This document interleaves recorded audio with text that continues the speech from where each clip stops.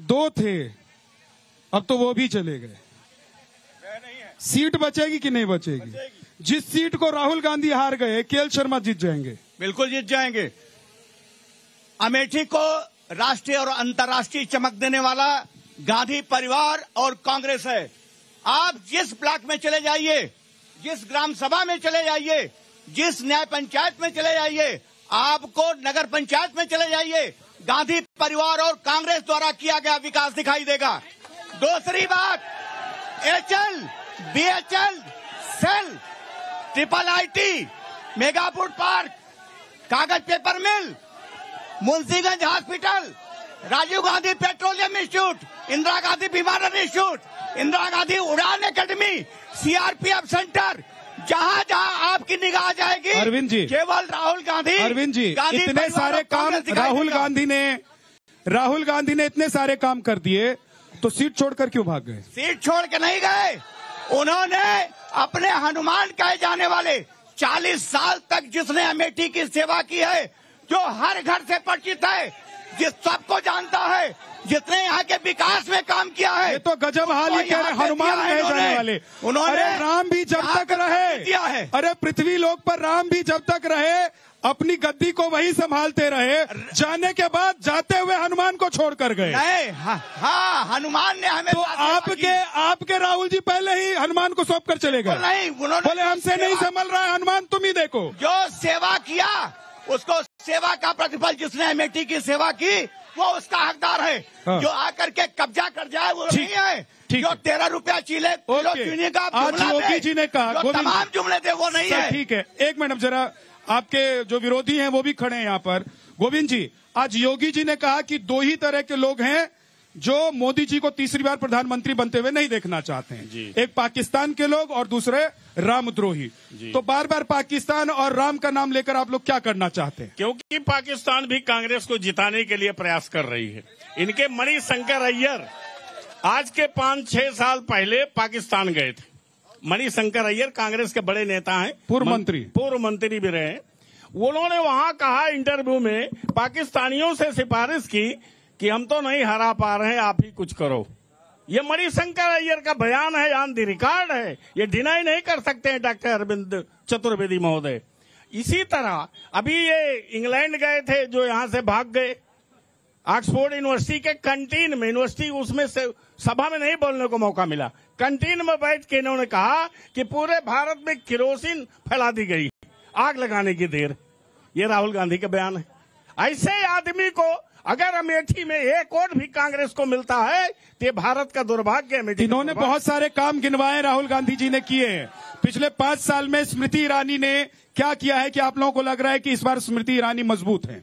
हमने यहाँ साढ़े छह हज़ार करोड़ का निवेश लाए हैं स्मृति जी के प्रयास से।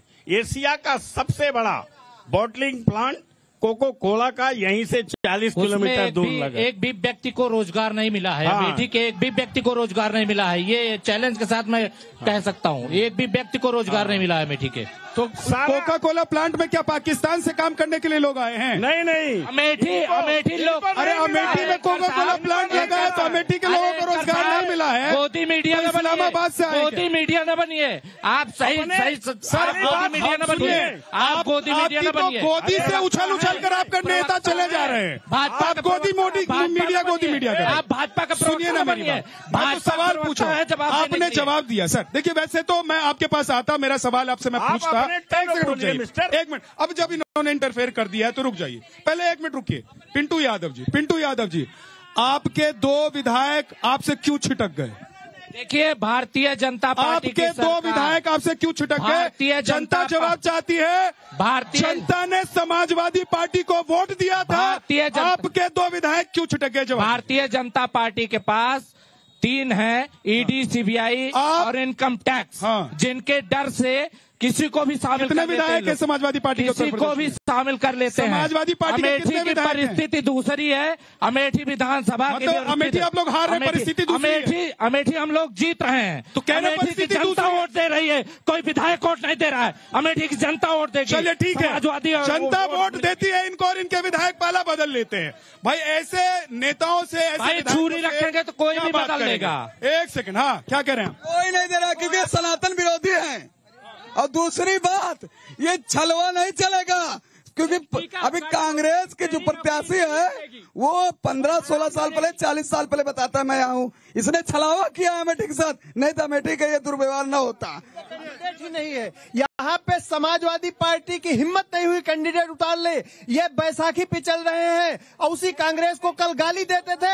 आज उसी के नीचे बैसाखी बन के चुनाव लड़ रहे हैं। इनकी औकात नहीं है कि एक भी कैंडिडेट अमेठी और रायबरेली से उतार ले।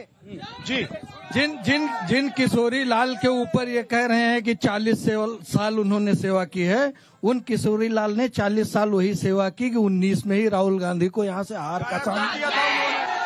ये कांग्रेस के महोदय हमसे पूछना चाहते हैं कि जब ज़रूरत होती है तो शर्मा को ही क्यों भेजते हैं? कभी कैप्टन सतीश शर्मा अमेठी को लूट के जाते हैं तो कभी केएल शर्मा को भेजते हैं, जबकि ये गलत। और इनके विधायक को बताना चाहता हूँ पिंटू यादव के, कि जब भी इनके विधायक इनका साथ छोड़े तो जय श्री राम का नारा लगाते हुए छोड़े इसका साफ़ मतलब था कि उनको उनको इसका क्या मतलब है? इसका मतलब ये है कि समाजवादी पार्टी एक सेकंड में आ रहा हूँ, सबके पास आऊँगा। इसका ये मतलब तो नहीं है कि समाजवादी पार्टी के विधायकों को भी लगा कि ये राम विरोधी है। इनके साथ रहने का फ़ायदा नहीं है। देखिए जवाब चाहता हूँ मैं? हाँ, बिल्कुल हाँ। जवाब दे रहा हूँ। हाँ। 2017 में यही भाजपा कार्यकर्ता और माननीय प्रधानमंत्री जी जिनके परिवार की बात कर रहे हैं उनके ऊपर आरोप लगाते लगाते थक गए बेचारे। और उन्हीं की वजह से वोट मांगने का ज़रूरत पड़ गई इसलिए क्योंकि उनको पता है सांसद जी को कि यहाँ जीतने जीत नहीं होने वाली है। हार रहे हैं पूरी तरह से। मैं सवाल पूछा उसका जवाब दीजिए ना। मैं- मैं- जनता की तरफ़ से सवाल आया कि भाई आपके विधायक इसलिए चले गए और जाते जाते जय श्री राम कहते हुए गए। कहीं उनको ये तो नहीं लगा भाजपा तो वॉशिंग मशीन से जय श्री राम निकल रहा है क्या? जो आरोप लगा रहे वॉशिंग मशीन से जय श्री राम निकल रहा है क्या? क्या? वॉशिंग मशीन से जय श्री राम निकल रहा है क्या? और वो जो झारखंड में नोट निकल तो- रहा है वो तो कौन सी मशीन से आ रहा है? ये भी तो- बताइए सुन लीजिए।